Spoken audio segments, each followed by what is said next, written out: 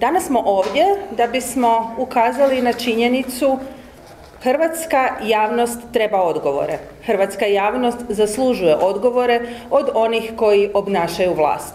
U ovom slučaju u parlamentu je zadaća nas zastupnika da sukladno poslovniku na aktualnom prijepodnevu postavljamo pitanja koja su od interesa za hrvatsku javnost i da na ta pitanja tražimo odgovore od premijera i od aktualne vlade. Nažalost, nakon analize jučerašnjeg aktualnog prijepodneva, nakon razgovora sa našim sugrađanima, nakon medijskih natpisa, možemo samo konstatirati da se postavlja pitanje smisla ovakvog aktualnog prijepodneva, kakvo se, nažalost, već u nekoliko navrata događa u Hrvatskom parlamentu. Mi iz kluba socijaldemokrata, kao što znate, kao najvećeg oporbenog kluba, imamo pravo na pet pitanja.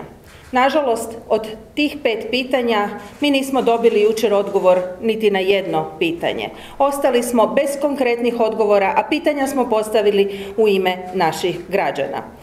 Stoga mi već danas ozbiljno razmišljamo kako nastaviti raditi u e, parlamentu i razmišljamo o tome da prestanemo na neki način sudjelovati u degradaciji Hrvatskog parlamenta, Hrvatskog sabora, koja se uporno od strane premijera Plenkovića i vladajućih dešava tijekom aktualnog prijepodneva. Ponavljam, mi iz Kluba socijaldemokrata prepoznali smo izuzetno važne teme i u tih pet pitanja ozbiljno formulirali teze i tražili konkretne odgovore. Mi nismo izvodili performanse, mi nismo zlouporabili poslovnik, nismo e, radili nikakav teatar u gostima u našoj sabornici, već smo upravo ono za što smo izabrani i za što smo dobili povjerenje hrvatskih građana, ozbiljan rad na ozbiljnim temama, pokušali dobiti odgovore od hrvatskog premijera. To se nije dogodilo. Ova naša tiskovna danas će zato u ime hrvatskih građana ponoviti ključna pitanja na koja tražimo odgovor od premijera. I dalje ćemo koristiti sve institute koje nam je dao poslovnik Hrvatskog sabora i od odgovora na pitanja nećemo odustati, a razmislit ćemo ozbiljno i o tome kojim mehanizmima možemo dovesti do veće kvalitete rada tijekom aktualnog prijepodneva i e, možda i mogu ovim putem najaviti neka nova rješenja ili poboljšice koje bi stigle iz kluba socijaldemokrata. Dakle, premijer jučer nije odgovorio, a s druge strane, ono što je dao kao odgovore vrlo je zabrinjavajuće i o tome će danas govoriti Domagoj Hajduković i Davorko Vidović. Hvala Ivana, ja vas e, sve lijepo pozdravljam. I kako je Ivana rekla, premijer zaista nije dao odgovore na neka pitanja, a na onaj na koja je dao, možda bolje da nije. Naime, jučer je pomalo ispod radara prošla tema koja ne za živu glavu zapravo ne smije proći ispod radara. Ljudi to moraju znati. Prije svega ljudi koji žive na potresom pogođenim područjima, ali šira hrvatska javnost. A to je da ministar Paladina i premijer Plenković su potvrdili da nećemo potrošiti sav novac iz EU do produljenog roka u lipnju 2023. Obnova se iz debakla zapravo pretvara u kolosalni debakl i ljudi iz potresom pogođenih područja, kako sam rekao, moraju znati kako stvari stoje. I moraju zajedno sa nama, nažalost, raditi pritisak da bi vlada i institucije kojima je to zadaća zapravo radile svoj posao i potrošile zadnji cent iz EU novca koji smo dobili za obnovu. Premijer je gordo, uporno, eh, u svom stilu, da tako kažem, tražio zapovjednu odgovornost uprave INE prilikom zadnje afere. Ali zapovjednu odgovornost za mnoge afere u HDZ-u, za svoje posrnule ministre, a u vladi je ostalo vrlo malo ministara koji su na tu dužnost stupili zajedno sa premijerom, nekako ne traži, odnosno ne vidi sebe odgovornim tu. Na tu vrstu zapovjedne odgovornosti je slijep poput šišmiša. Možda bi trebao googlati što je to zapovjedna odgovornost, možda bi trebao googlati što je to politička odgovornost koju on u ovom trenutku apsolutno ima.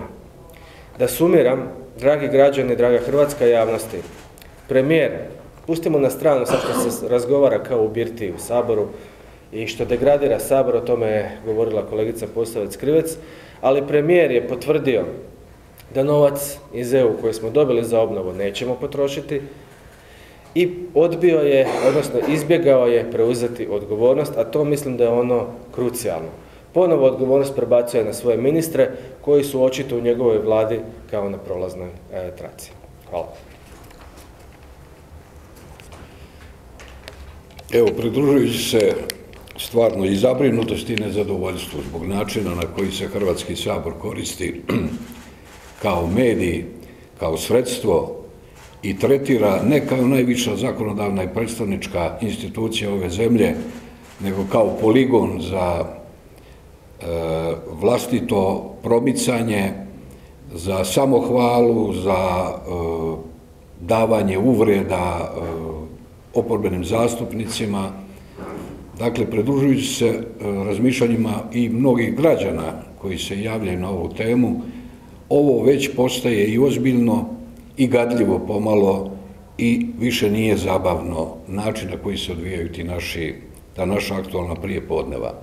Dakle, umjesto da dobijemo, kao izabrani predstavnici naroda, da dobijemo odgovore na važna pitanja u ovoj zemlji, mi dobivamo hrpu besmislica, hrpu otrcanih fraza i rekao bih, upadljivo izbjegavanje davanja odgovora, nego umjesto odgovora dobijamo diskvalifikacije nas koje su građani izabrali u ovaj parlament. Jučerašnja sjednica, na jučerašnjoj sjednici postavio sam jedno pitanje koje je legitimno, o kome se govori u široj javnosti, koje je perzistentno, koje dugo postoji i koje traži svoj odgovor, ali na njega nisam dobio, zapravo i očekivano nisam dobio odgovor. Riječ je o slučaju gašenja i na rafinerije nafte u Sisku. Ovdje nije riječ tek o gašenju jedne tvornice, niti tvornice cipela, da ne uvrijedim bilo koga, niti poljoprivredne zadruge u Gornjoj Pastuši. Ovdje je riječ o potezu koji je diametralno suprotan i energetskoj strategiji Hrvatske koja postoji barem na papiru i koja je izigrana donošenjem odluke da se ta rafinerija zatvori i protivna zakonu energiji kakav je vrijedio u vrijeme kada je ta odluka nesumnjivo donijeta od strane predsjednika vlade i njegovih ministara. Pokušaj da se, rekao bih, blasfemično povežu u istoj rečenici Ivica Račan i Ivo Sanader je doista primjer, rekao bih, obmane, laži i pokušaja diskvalifikacije drugih da bi se eskulpirala vlastita odgovornost za učinjeno ili neučinjeno. Dakle, hrvatska vlada, predvođena Račanom 2000. godine, da još jednom pojasnim, nakon što je sanirala financijski INU kao najveću hrvatsku kompaniju koja je imala ogromnu ulogu u obrani zemlje, je i pod, i pod zahtjevima Europske unije kao prvi korak za približavanje Hrvatske Europske unije i uključivanje integracije išla u djelomičnu privatizaciju jedne četvrtine INE isključivo i jedino s razlogom da se u tom e, međuvlasničkom sporazumu sa Molom koji je ponudio najveći i koji je dao najbolju ponudu, da se moderniziraju obje rafinerije i ona u Rijeci i ona u Sisku. Sa preciznim rokovima 2006. za Rijeku i 2007. za Sisak. To se nije dogodilo i poznato je i zašto se to nije dogodilo. Ovo prvo, Račanovo, ili te vlade poduzimanje je bilo potpuno transparentno. Novinari, vaši starije kolege, možete, možete ih i pitati, su dobili CD-ove sa, sa tim međuvlasničkim ugovorom, sa svim uzancama toga ugovora koji su obvezivali MOL kao strateškog partnera da, ide u, da se ide u modernizaciju biorafinerija. Ničega tu nije bilo spornoga, tu je bilo samo puno volje, ozbiljnosti i odgovornosti da se Hrvatska energetski učini samodostatnijem nego što je to bio slučaj ranije. Umjesto toga dolazi vlada Ive Sanadera, koja koruptivnim, koruptivnim djelovanjem, dokazano koruptivnim, presuđeno koruptivnim djelovanjem, u Biltiji na papirićima e, upisuje novac mita i predaje upravljačka prava mimo ugovora i povećava udio vlasništva mola nad e, inom potpuno mimo interesa Republike Hrvatske i njezine energetske neovisnosti. To su dvije potpuno različite situacije i ni na koji način ne smije proći taj pokušaj da se optuži tobože Račanova vlada kao ona koja je započela proces, jer to ni jednoga trenutka nije bila niti namjera, niti se to trebalo i smjelo dogoditi što se dogodilo. Odgovornost leži na HDZ-ovim vladama i njihovim premijerima. Što ne odgovara predsjednik vlade, na što nema odgovora, trebao imati. Sada, u uvjetima kad je energetska kriza eskalirala, kada smo došli u situaciju da sa velikom zemljom iščekujemo zapravo ne samo iduću jesen i zimu, nego ne znamo ni što će se događati u budućnosti, više je nego potrebno i zato zahtijevamo i tražimo od Hrvatske vlade da se donese jedna ozbiljna, ozbiljna, provediva energetska strategija ove zemlje, koja mora uključivati način gospodarenja našim resursima. 90. godine mi smo pokrivali naše potrebe za plinom sa 80%, sada negdje 20%. Mi moramo znati zašto se nekada moglo iscrpsti 2 milijuna tona nafte i preraditi u, u hrvatskim rafinerijama, primarno u Sisku, kao niskosumporna nafta, vrlo kvalitetna, koju je INA plaćala nafta plinu po većim cijenama nego što su bile tržišne zbog njene kvalitete. Mi moramo znati što će biti sa tom sisačkom rafinerijom, na što ne dobivamo odgovor.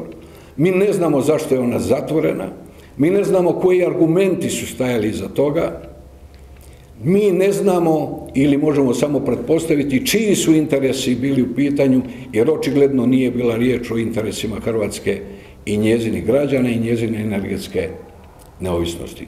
To su preozbiljna pitanja, to su prevažna pitanja i mi kao socijaldemokrati želimo upozoriti i moliti i ostale naše sugrađane da se ne mirimo sa ovakvim neozbiljnim, neodgovornim igranjem sa važnim interesima Hrvatske.